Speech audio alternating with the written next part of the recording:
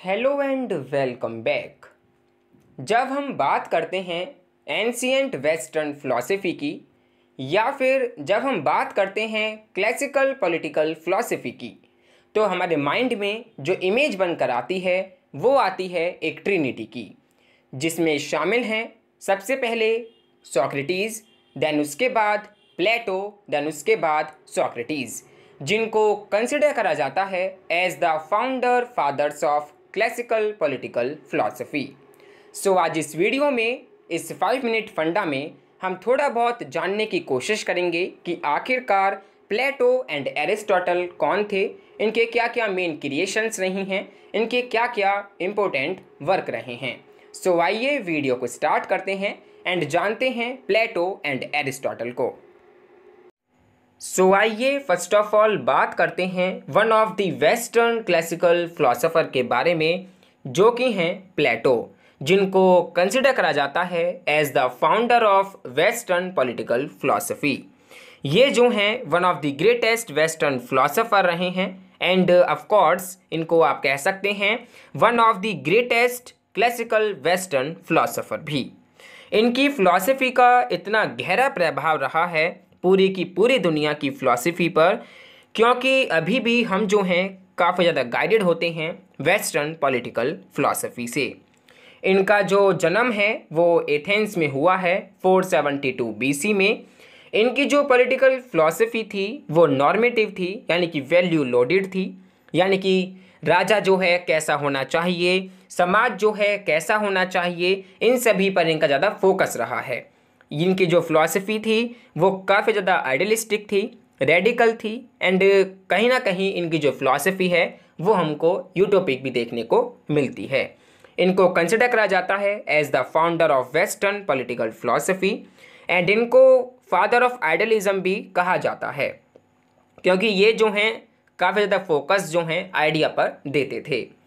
And Plato जो हैं was the first to use dialectic method in political philosophy Plato ही एक ऐसे पहले फ़िलासफ़र रहे हैं, जिन्होंने अपनी फ़िलासफ़ी में, अपने पॉलिटिकल वर्क में डायलेक्टिक मेथड को जो है सबसे पहले यूज़ किया।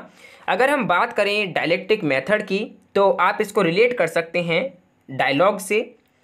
कोई भी सिस्टेमेटिक आर्ग्यूमेंट से आप जो हैं, इसको रिलेट कर सकते हैं। एंड वहीं अगर हम बात करें इनके कुछ मेन क्रिएशंस के बारे में, इनके कुछ मेन वर्क्स के बारे में तो इन्होंने लगभग 36 जो हैं किताबें लिखी हैं, जिसमें 35 जो हैं डायलॉग हैं एंड 13 जो हैं लेटर हैं। अब देखिए, ये जो हैं स्टूडेंट रहे हैं सॉक्रेटीज़ के। एंड सॉक्रेटीज़ जिन्होंने कुछ नहीं लिखा, उनके बारे में जो भी हमें जानने को मिलता है, जो भी उनकी फ़िलासफ़ी को हमें जानने का मिलता है, वो हमें प्लेटो की जो राइटिंग्स हैं, उन्हीं से मिलता है। ठीक है? एंड ये जो प्लेटो की जो जो क्रिएशंस रही हैं, जो इम्पोर्टेंट वर्क रहे हैं, या फिर जो इनकी बुक्स रही हैं, ये हमें किसी नोट के फॉर्म में देखने को नहीं मिलती हैं। जनरली इनकी जो बुक्स हैं, वो हमें डायलॉग की फॉर्म में देखने को मिलती हैं। इन्होंने कोई ट्रीटीज़ या टेक्स्ट की फॉर्म में अपनी जो बुक्स हैं, उनको नहीं लिखा, बल्कि डायलॉग की फॉर्म में इन्होंने अपने बुक को जो है पब्लिश किया है।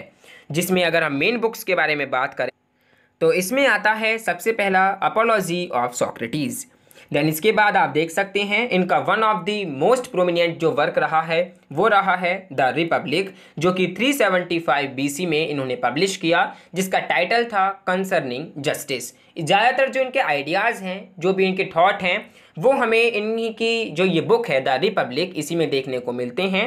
देन इसके बाद इनकी सेकंड बुक रही है द स्टेट्समैन जो कि 370 जो कि 367 या फिर 361 बीसी में देखने को मिलती है। एंड जो इनकी थर्ड जो मोस्ट प्रोमिनेंट वर्क रहा है, वो रहा है द लॉज जो कि 347 बीसी में इन्होंने पब्लिश किया है। अब हम बात कर रहे हैं one of the greatest political philosopher जिनको लगभग हर एक सब्जेक्ट के बारे में नॉलेज थी हर एक फ़ील्ड में नॉलेज थी। चाहे वो फ़ील्ड हो, चाहे वो सब्जेक्ट हो बायोलॉजी से रिलेटेड चाहे वो सब्जेक्ट हो इथिक्स से रिलेटेड चाहे वो सब्जेक्ट हो पॉलिटिकल साइंस से रिलेटेड चाहे वो सब्जेक्ट हो अदर सब्जेक्ट से रिलेटेड इनको लगभग हर एक फ़ील्ड में इतनी नॉलेज थी, जिनको कंसिडर करा जाता है as the father of political science as the father of political realism founder of historical and comparative methods constitutionalism and formal logic हम बात कर रहे हैं एरिस्टोटल के बारे में, जो कि स्टूडेंट रहे हैं प्लेटो के एंड जिन्होंने उनकी अकेडमी के अंदर रहते हुए शिक्षा जो है ग्रहण करी and young Alexander the great of Macedonia को ट्यूटर के तौर पर छः या फिर एक साल जो है उनको शिक्षा जो है प्रदान की, जिनको कंसिडर करा जाता है as the father of political science Aristotle ने जो है 335 बीसी में एक अपना स्कूल जो है इस्टेब्लिश किया, एक एथेनियन स्कूल जो है इस्टेब्लिश किया, जिसको हम लाइसम के नाम से जानते हैं। वहाँ पर जो है, ये काफ़ी आइडियाज़ को, थॉट्स को जो है, शेयर किया करते थे, नॉलेज दिया करते थे। एंड इन्होंने जो है अटैम्प्ट किया convert the utopian ideas of Plato into rational theory जो भी प्लेटो के आइडियाज़ थे यूटोपियन जो आइडियाज़ थे, उनको रियलिटी में, इन्होंने जो है रेशनल थ्योरी में कन्वर्ट किया। अगर हम इनके कुछ मेन क्रिएशंस के बारे में बात करें, इनके कुछ मेन इंपॉर्टेंट वर्क के बारे में बात करें तो इनका जो मेन जो क्रिएशन रहा है, वो रहा है द पॉलिटिक्स जो कि 350 बीसी में जो है ये जो है पब्लिश करते हैं। जिसका मेन टॉपिक ये था कि नगर राज्य, जो पॉलिस जो वर्ड है, उसी से जो है पॉलिटिक्स शब्द जो है निकल कर आया है। इसके अंदर ये नगर राज्य के बारे में बात करते हैं, बताते हैं कि आखिर नगर राज्य जो है कैसा होना चाहिए। देन इसका बाद जो इनकी सेकंड बुक आती है, वो है द रिहोट्रिक जिसके अंदर ये बताते हैं कि जो अलंकार शास्त्र है, वो क्या है। देन यूडेमियन भी इनकी एक काफ़ी मोस्ट इम्पोर्टेंट वर्क है, जिसमें ये ऑन द सोल के बारे में बात करते हैं। एंड द निकोमेकियन एथिक्स जो कि लगभग 340 बीसी के अंदर पब्लिश होती है, ये भी इनकी काफ़ी मोस्ट इम्पोर्टेंट वर्क है। द कॉन्स्टिट्यूशन ऑफ़ एथेंस जो कि 328 बीसी 322 बीसी में जो है पब्लिश होती है, ये भी काफ़ी इम्पोर्टेंट वर्क है। तो ये जो है इनके कुछ इम्पोर्टेंट वर्क रहे हैं। अगर हम बात करें प्लेटो एंड एरिस्टोटल की इनके रिलेशन कैसा था? सो so, देखिए प्लेटो एंड एरिस्टोटल का जो रिलेशन था सेम वैसा ही था जैसा कि J S Mill and Bentham का। दोनों ने दोनों ने ही अपने मेंटर्स के जो सिद्धांत थे जो थ्योरीज थी जो आइडियाज़ थे उसके एक बड़े भाग का खंडन कर कर एक नई नींव जो है रखी एक नए थॉट जो है वहाँ से निकाल कर लोगों को दिए।